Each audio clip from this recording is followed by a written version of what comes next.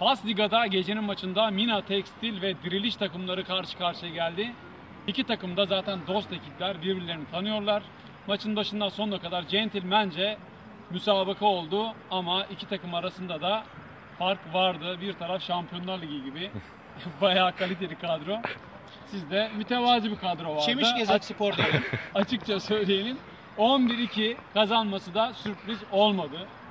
Hakkıyla başlayalım. Hakkı da Bursa camiasının bildiği ünlü topçulardan. Ya, Hakkı. estağ- estağfurullah Evet Hakkı senle başlayalım.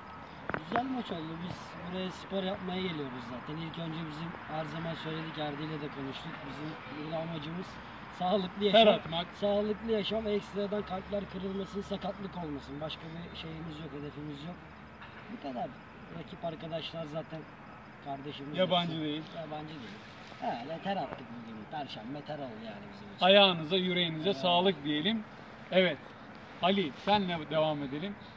Sen Ne? de müthiş tekniksin onu da söyleyeyim. Kumaş var. Teşekkür ederim. Kumaş var. Kumaş var da kumaş hocam açılmamış. Henüz top henüz açamadık. Olmayınca olmuyor. 7 maçtır mücadele ediyoruz. Bir galibiyet hasretliği var bizde. Hakkı abim abimizdir. Erdi Bey de abimizdir.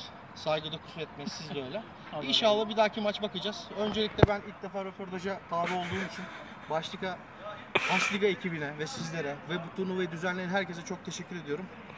İnşallah bir dahakine tek başıma röportaj yapacağım diyorum. Teşekkür ederim. Biz de iki takım oyuncularını da kutlayalım. Ayağınıza, yüreğinize sağlık. Özellikle de kaleci İbrahim'i de tebrik edeyim. Evet. 11 tane gol gördü kalesinde ama müthiş kaliteli kurtarışlara da imza attı. Buradan ona da selamlar gönderelim. İki takımı da kutluyoruz. Hayırlı akşamlar. Akşamlar.